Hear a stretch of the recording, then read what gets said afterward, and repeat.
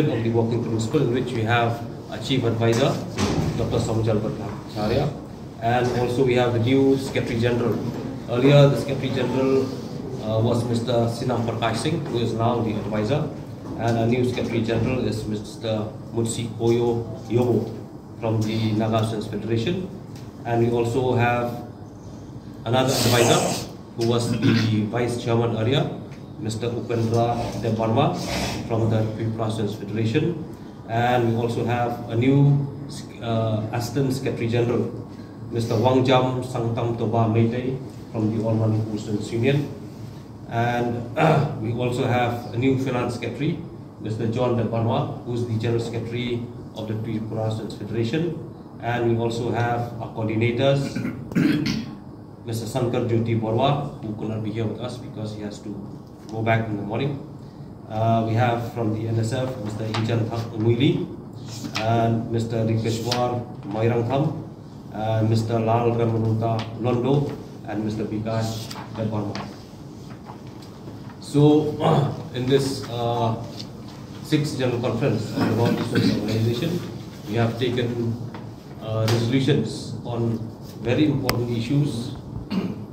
That is, the first issue is on the illegal immigration, which is affecting the different states of the northeastern region, and it's continuing to affect the demographic structure of the northeastern region, especially here in the state of Tripura, in which the indigenous peoples of Tripura are being reduced to a minority in their own land. and the NESO on this issue has uh, taken a resolution that we will take up this issue from time to time and we will explore all possible all possibilities to fight against this menace of illegal infiltration and to take up this issue with the concerned state governments at the state and at also at the central level and to work out modalities and structures according to the prevailing situation in this, each state of the northeastern region.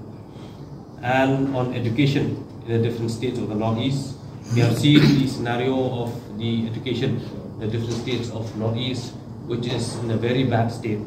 And this general conference, after deliberation at length with regard to the issue of education in the different states of the Northeast, the general conference is of the opinion that the present system is predominantly of the formal form of education. Even though we recognize the importance of the formal form of education, re-examination of the whole process of NRC of Assam to implement all provisions of the Assam Accord 1985 and for the implementation of the recommendation of the Committee on Clause 6 of the Assam Accord for constitutional safeguard. We also demand, we've been demanding the repeal of the punitive legislations like the Armed Forces Special Powers Act, which has created a lot of problem, a lot of ill treatment, and a lot of uh, extra constitutional debt to the innocent people of the northeastern region, and especially with the recent massacre in in the December 2021 at Oting, in which 14 innocent people lost their lives, and the armed forces, the people in the armed forces who perpetrated this massacre are still roaming free because of the protection of this Armed Forces Special Powers Act. So we demand that this draconian law should be repealed by the government of India.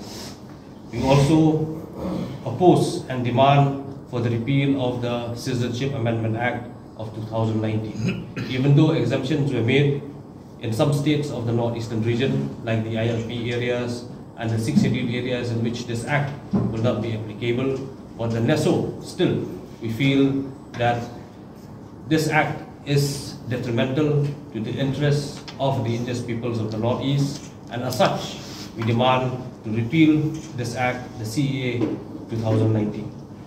Also include and introduce, more importantly, job-oriented courses, the introduction of vocational institutes, and also the curriculum should include the traditional values like culture, history, geography of the indigenous peoples of the northeastern region, and we demand that the state and the central government set up more professional and technical institutes in all the states of the northeastern region.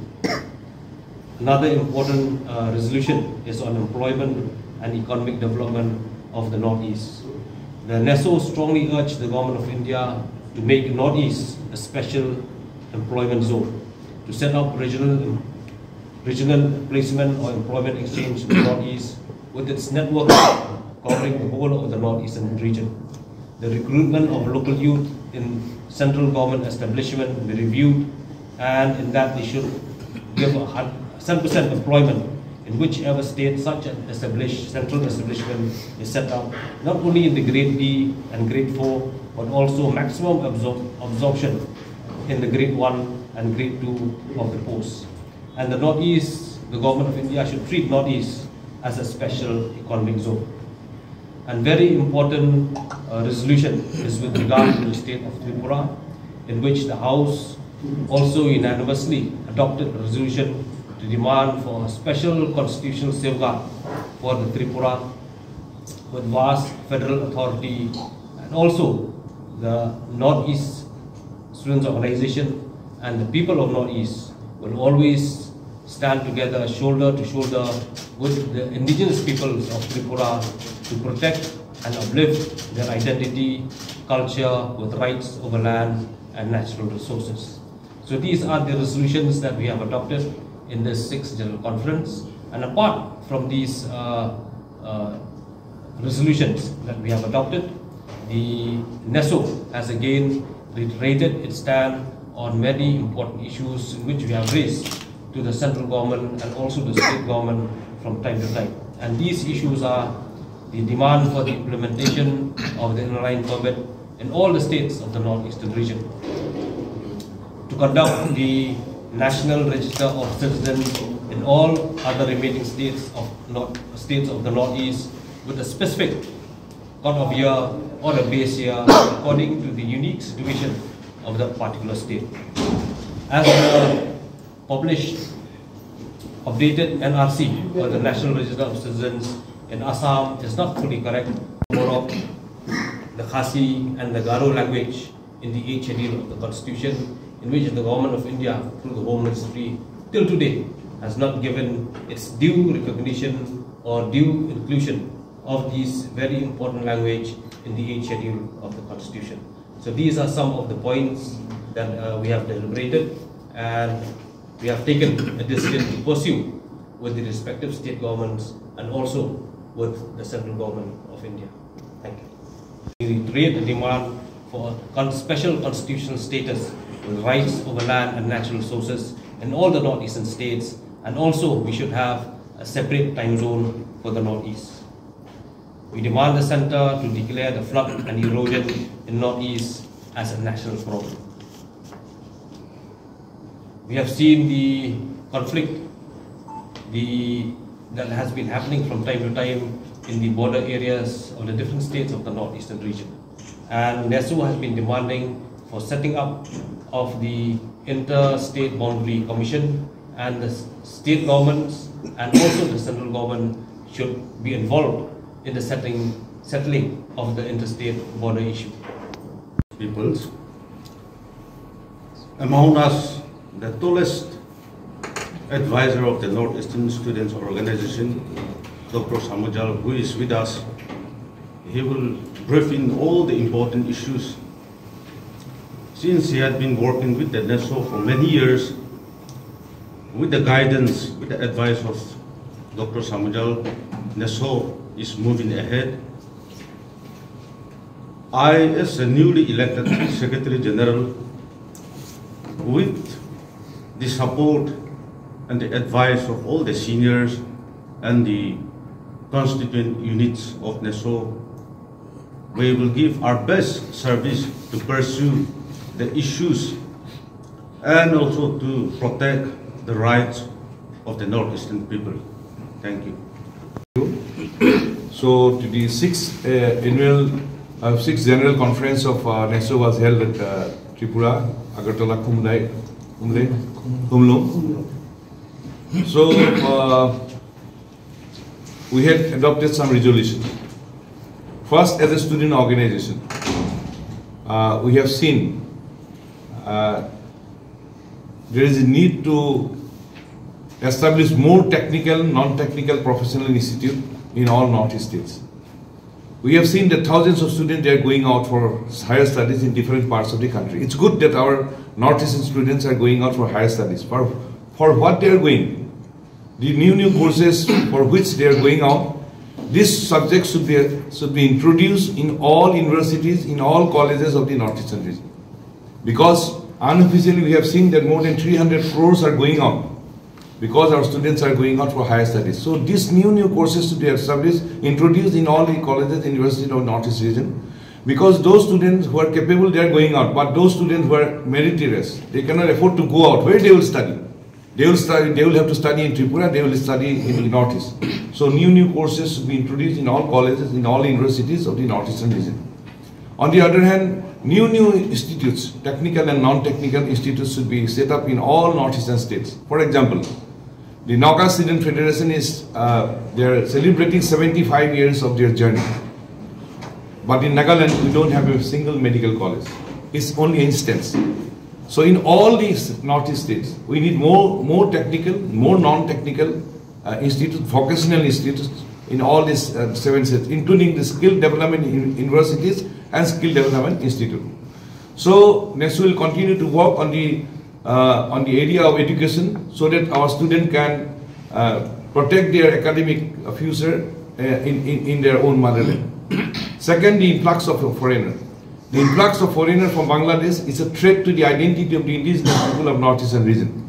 Somebody is asking, so what threat? What is the number? But I would like to say that the Supreme Court of India, when they have uh, passed an order to repeal the IMDT Act, the Supreme Court of India had said, quote, due to large-scale influx of illegal foreigners from Bangladesh, there is external aggression and internal disturbance in the state of Assam only. It is only for Assam. So for whole of Northeast, this, there is external aggression and internal disturbance in the state, in, in our Northeast due to large-scale influx of illegal foreigners from Bangladesh. It's not our opinion, opinion. It's the opinion due to large-scale influx of illegal foreigners, there is external aggression in internal disturbance. But the central government and the state government, they are keeping mum white. The international border is porous. In Tripura only, 30 kilometers is still porous. And now the central government and the state government, they are saying that the fundamentalist groups, they are entering into Northeast. Who has stopped them to stop the fundamentalist group? NESO is always saying that the international border along the Indo-Bangla border should be sealed. Because of the failure of the central government and the state government through this porous border, the fundamentalist groups are entering into Northeast. Now Northeast is a transit route and transit camp for the fundamentalist groups along with the illegal Bangladeshis. So it's an unexcusable crime on the part of the central government and state government for not sealing the Indo-Bangla border. If the central government can seal the Indo-Pak border in a war footing, why not in case of Indo-Bangla border? It's a threat to the nation. It is not only a threat to the identity of the indigenous people of Northeast, it's a threat to the nation and central government and state government. They are compromising with the sovereignty of the country. So, the central government and state government, they must act effectively to seal these Indo-Bangla borders immediately. And the influx of illegal foreigners, that must be solved because it has changed the demography of the northeastern region. In, a, in Manipur, there is Manipur Accord. In Assam, there is Assam, there is Assam Accord. They are not implementing the Assam Accord. And due to non-implementation of these accords, we are facing this problem. On the other hand, in case of Assam, there is a central government had formed a high-level committee headed by a retired judge to give the constitutional safeguard for the indigenous people of Assam. This, the committee, it was formed by the government of India. The committee has submitted this report on time and during that time, Prime Minister and Home Minister, they have said they will implement it. Now they are keeping mum. So it should be implemented within a specific time frame so, the, so that the constitutional safeguard can be guaranteed as per the commitment of the Assam Accord and as per the commitment of the Government of India. Regarding the, the, in, in, the case of uh, uh, in the case of fundamentalist groups in Bangladesh, we like to demand that central government and state governments should adopt all effective measures to evict all illegal Bangladeshis and fundamentalist groups from the soil of northeastern region. On the other hand, regarding Tripura, we have adopted a specific special resolution and we have seen that the, the indigenous people of Tripura is facing threat. It's a threat to the identity of the indigenous people of Tripura in Tripura. So what to do? The, the only way to protect the culture, identity of the indigenous people of Tripura is to give special constitutional safeguard for a must. So NESO is strongly demanded there should be a special constitutional safeguard for the indigenous people of Tripura. At the same time, we'd like to reiterate the whole, the whole of Northeast, the Northeast Student Organization will extend our full support to the indigenous people of Tripura to get the special constitutional safeguard. On the other hand, we have we have a issue of employment. We have an issue of employment. The, the, the unemployed capable youths, they are not getting job in the third and three, category three and four in our northeastern region. Why? Our, our capable educated youths are there, but they are not getting job. Why? So for them, in third category C and D, all posts will be reserved for the capable unemployed youths of the northeastern region. And there should be a separate employment zone for northeast. And the northeast should be treated as a special economic zone. See, government of India is saying, look, it's now said that act is. What is act is? Whether it is it will be a corridor for exploitation. So northeast should be the economic hub for the country. So we, we are demanding that there should be a separate employment zone and separate uh, economic zone for for whole uh, for for for northeastern region. And we are reiterating our our stand, and that stand the AFSPA must go. During last Oting incident, we have seen what had happened, and we are always demanding that AFSPA should, should be repealed. Now the central government, due to our movement, due to the movement in Nagaland and other whole northeast, they have relaxed some areas. We said no, no, no point of any relaxation. It should be repealed totally. AFSPA must go. On the other hand, regarding NRC, so we are demanding that there should be NRC for whole of northeast. The modality of may be different from state to state. On the other hand, we need a Bangladesh, illegal Bangladesh name-free correct NRC. And on the other hand, the process was uh, taken the, the, by the uh, at the initiative of the uh, and which was monitored by the uh, Supreme Court of India in Assam. The updating of NRC was taken in Assam, which was monitored by the Supreme Court of India. But the result is not acceptable. The process was uh, not acceptable. So uh, through a process it was adopted but the, the result is not acceptable so due to non-implementation of the Supreme Court guideline uh, we are not getting the result. So we are demanding there, there should be a re-examination of the whole process of the, uh, the process of uh, NRC in the state of Assam. On the other hand, uh, we are demanding that the implementation of the all clauses of the Assam Accord and regarding the CAA, the CAA, it must be repealed. The central, we, we had uh, continuously uh, continuing, we are continuing our movement against the uh, against CAA. There was CAB during that time. We had uh, we had lobbied and we had approached all political parties during that time. The central government could not pass it in Rajya Sabha, but the next time they have passed it. It's anti-indigenous. It is anti-northeast. CAA is anti-indigenous. CAA is anti-northeast. It's a communal, it's unconstitutional, and so it should be repealed. CAA is a protector of the illegal Bangladeshis. Now, in the, when they, they have passed the CAA in the parliament, they have said that inner covered area of northeast is exempted. That means Mizoram, Nagaland, Arunachal and Manipur. CAA is not applicable. They have said the six settled areas of northeast is exempted. That is 98% of Meghalaya, which is covered by six civil area is exempted. Seven states of North Assam is exempted and tribal areas of Tripura are exempted. Then where CAA is applicable in Northeast? Except seven states of Assam, ex, uh, seven districts, except seven districts of Assam and except tribal areas of North Tripura. These are the areas where CAA is applicable. So we have a question. If the CAA is bad for the inland permit covered area in northeast, if CAA is bad for the six schedule covered area in northeast, how CAA can be good for the other parts of northeast? It's a basic question. So it's an injustice. So CAA must be repealed. And we'll continue our movement for repealing of CAA. At the same time, we had appealed before the Supreme Court of India on behalf of NESO, ASU. We had submitted our, uh, uh our application before the Supreme Court of India. And Supreme Court of India had said yes, this problem is special. So for that, the, the, the, there will be hearing, but there will be separate time for in the case of Assam, Tripura and Northeast. So Supreme Court had given the status and recognized that this, the problem is different than the other parts of the country. So the CAA must go and till CAA is repealed, we'll continue our democratic movement and legal fight. Till CAA, uh, we are demanding that there should be a special constitutional status for whole of Northeast with the right of land and natural resources. And we need a separate time zone because we are one hour ahead of the mainland of India. So there should be a separate time zone. On the other hand, there should be a separate, uh, there should be a uh, boundary co commission to settle these Hindu uh, in interstate border disputes. We need a permanent solution of this interstate border problem and inclusion of Kok, Khasi and Garo language in eight schedule area. These, these issues were discussed in our conference and NESO is determined to continue our struggle to protect the interest of the indigenous people of Northeastern region.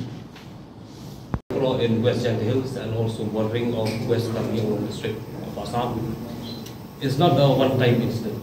The incident of border conflict has been happening from time to time in different states of the northeastern region, either in Nagaland, Mizoram, and also Meghalaya.